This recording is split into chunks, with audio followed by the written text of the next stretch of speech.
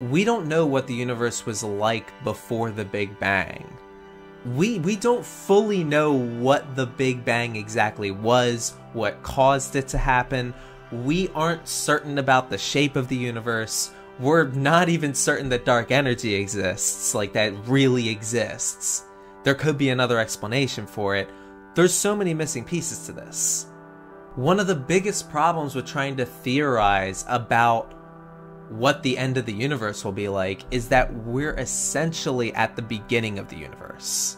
To give some context on what I mean by we're at the beginning of the universe, if we were to go with the big freeze scenario, for example, the big freeze scenario is estimated to occur in 10 to the 100th power years from now. The universe is only estimated to be around 13.8 billion years old. Yet heat death is supposed to occur 10 googol years from now.